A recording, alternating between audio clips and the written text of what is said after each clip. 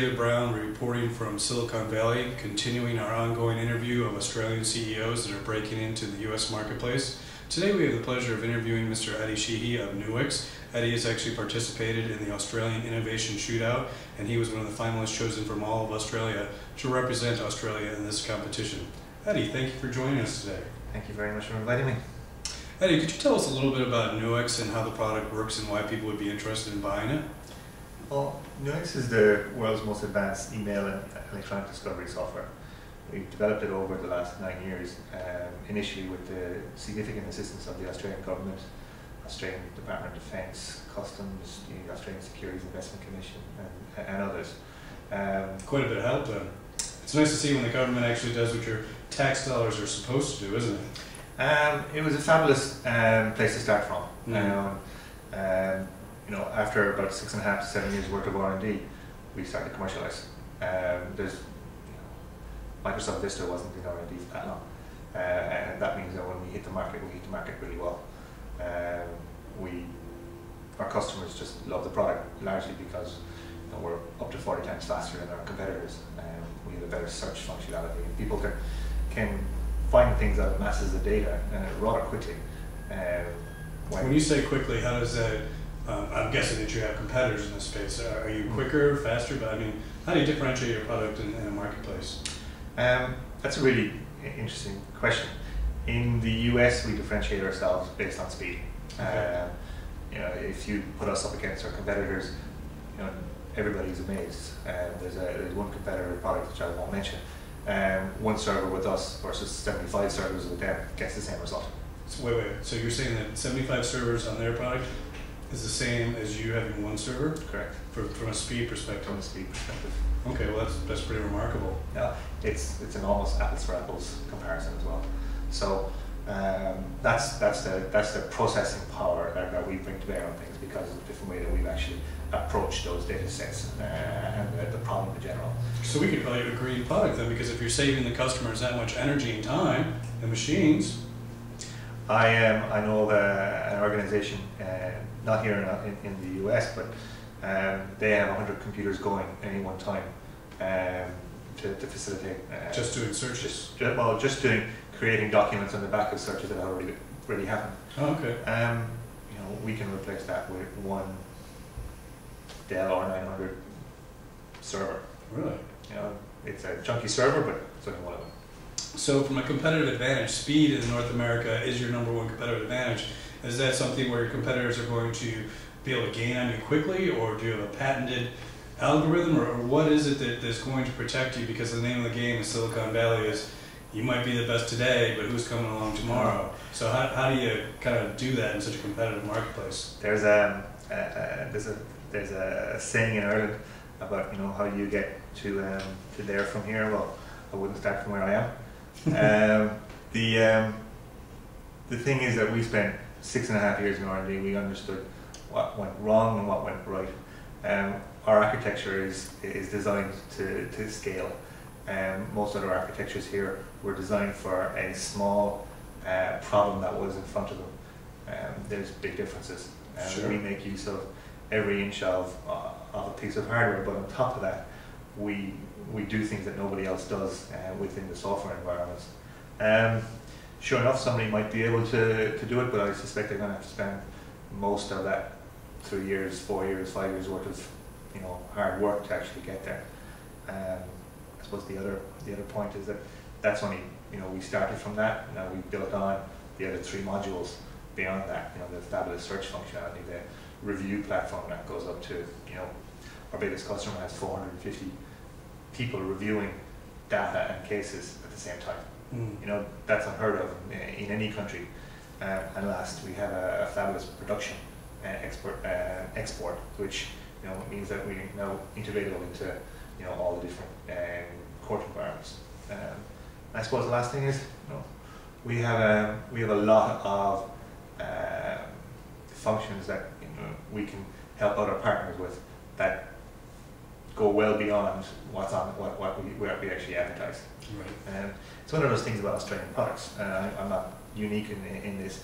We seem to be very poor at marketing.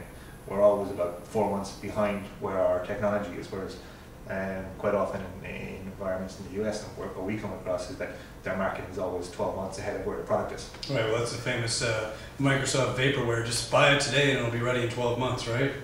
Well, you buy today and you actually are surprised what additional stuff that we're giving you today Okay. that we didn't advertise or, or tell you that we were giving you. Fantastic. So one of the things that I, I see when I'm talking to Australian entrepreneurs breaking into the U.S. market is they look at the U.S. and they're like, wow, that's such a big marketplace. Where do I start? What vertical do I focus on? Did you guys do quite a bit of market research before you entered the U.S. market, or how did you how did you decide the U.S. was a place for your product or service? That's actually an extremely good question as well. Um, we actually, I went to went to the US, um, you know, three or four times. Went to trade shows, talked to lots of people, met lots of customers, and um, you know, you kind of think you know something, but you don't. You know, um, we then put somebody on the ground um, who knew the company backwards, was completely trustworthy, and he was there for 12 months. And during that 12 months, you know, our original ideas were found to be probably correct, but you know, you're going to have to feed yourself for at least two or three years if you go down that business plan. So he went looking for, you know, the, the places where, where our technology works um, uh, against the problems that, that are there. Um, we do things extremely better than in things that we're really good at, but things that are the norm in the US are not necessarily the norm in other parts of the world. So we then had to add functionality to our core product to actually bring it up to the standard that is expected within the US for certain things. And then once we have those equated, and they're largely done, um, we then bring our additional our, our- speed on board, which says you know we can do everything that the US product can do, and we're 40 times faster. Gotcha. You know, that's the value proposition. So would you say that um, the market research that you did was beneficial to your long-term strategy? Absolutely. You can't come to the US and expect to win unless you actually have your feet on the ground for a period of time um, to understand what people are saying, what they mean by what they say, Mm. uh, and, and the stuff that really said. Um, and then, you know, put your plan in place, get your product right, and then start investing in the big dollars into it. Yes, no, this morning actually we announced a, um, uh, a partnership with a, a Los Angeles uh, litigation support organization called eClaris. Um, and out there in, in Los Angeles, they have the ability to process a terabyte of information of electronic documents in under 14 hours.